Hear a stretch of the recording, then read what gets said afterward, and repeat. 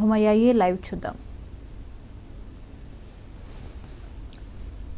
విజ్ఞప్తి అధ్యక్ష ముందుగా పదేళ్ళ తర్వాత తెలంగాణ గురించి ప్రస్తావించే ముందు పదేళ్ళ ముందున్న పరిస్థితులు కూడా ఒక్కసారి మననం చేసుకోవాల్సిన బాధ్యత మనందరి మీద ఉంది అధ్యక్ష రెండు వేల పద్నాలుగు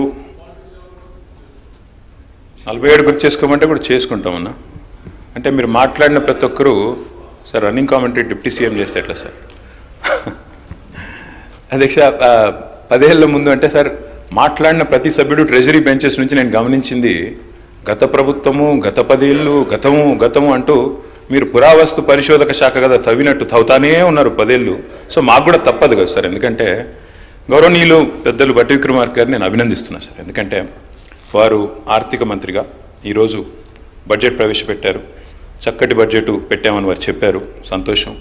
అధ్యక్ష వారు మరింత ఉన్నతిని సాధించాలని తప్పకుండా ఆ కూర్చున్న కుర్చీలోంచి అవసరమైతే భవిష్యత్తులో పక్క కుర్చీలోకి కూడా పోయే విధంగా వారికి దేవుడు ఆ శక్తిని ఆ ఆశీర్వాదాన్ని కొడివాలని మనసారా కోరుకుంటాం. మీరంటే ఆ గౌరవం ఉంది.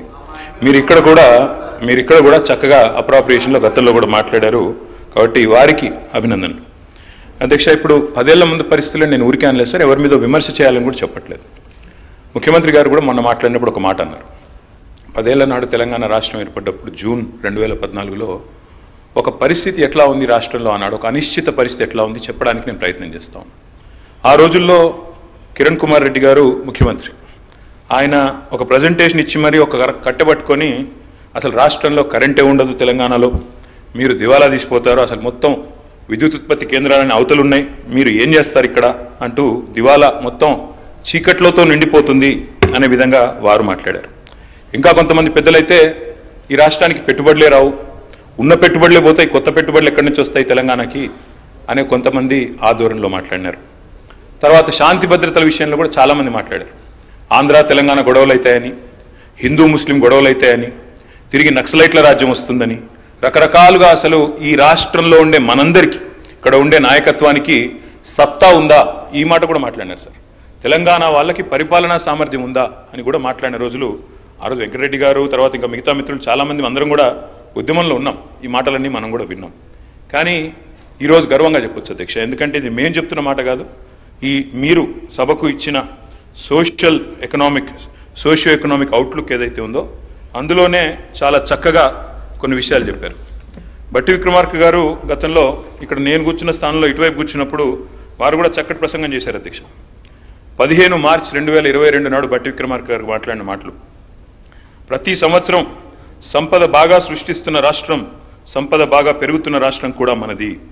కరోనా ఈ దేశాన్ని అతలాకుతలం చేసినప్పటికీ కూడా రాష్ట్ర ఉత్పత్తిలో ఎక్కడా తగ్గుబాటికి కారణం కాకుండా ఈ రాష్ట్ర ప్రజానీకం రైతాంగం శ్రామికులు ఈ మహమ్మారి దాడిని కూడా తట్టుకొని పెద్ద ఎత్తున ఈ రాష్ట్ర ఉత్పత్తులను సంపదను పెంచడం జరిగింది. ఇది బట్టి విక్రమార్క గారు ఆనాడు ఇక్కడ కూర్చున్నప్పుడు మాట్లాడిన మాట. కానీ ఏమవుతుందో అధ్యక్ష అక్కడ కూర్చోగానే స్వరం మారిపోతుంది. అక్కడ కూర్చోగానే మరి మాట కూడా మారింది అధ్యక్ష. అయినప్పటికీ వారు ఏం చెప్పినా వారు ఇచ్చిన బుక్కే అధ్యక్ష. ఇది తెలంగాణ సోషియో ఎకనామిక్ అవుట్లుక్. ఇందులో చాలా చక్కగా అన్ని విషయాలు వివరంగా చెప్పారు అధ్యక్ష.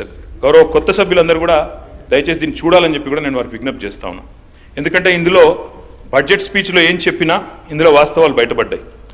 Despite economic hurdles page number three sir the state's strategic sectors continue to contribute to its economic dynamism. This resilience is bolstered by proactive government policies that attract investments, stimulate employment, and foster innovation. ఇది మరి తెలంగాణ రాష్ట్రం యొక్క అభివృద్ధి గురించి మీ ప్రభుత్వమే ఈ socio economic అవుట్లుక్లో చెప్పిన మాట దాంతోపాటు అధ్యక్ష చాలా చక్కగా చెప్పారు పేజ్ నెంబర్ ఫిఫ్టీన్లో Telangana's gross state domestic product at current prices is fourteen point six four lakh crore అంటే నాలుగు లక్షల కోట్ల నుంచి రెండు వేల పద్నాలుగులో మన రాష్ట్ర సంపద పద్నాలుగు లక్షల అరవై నాలుగు వేల కోట్లకు ఎదిగిందని చెప్పి వారు ఇచ్చిన సోషియో ఎకనామిక్ అవుట్లుక్లోనే చెప్పారు. అదేవిధంగా ఇంకొక మాట చెప్పారు అధ్యక్ష. In twenty three twenty four the per capital income at current prices in Telangana is three point four seven lakhs which is 1.64 lakh higher than the national per capita income in 2023-24, which makes it the largest state with the highest per capita income in the entire country ఇది కూడా వారే చెప్పారు. దాంతో పాటు ఇంకొక మాట కూడా చెప్పారు అధ్యక్ష. అది కూడా చెప్తాను. అది కూడా చెప్తాను. ఇంకొక మాట కూడా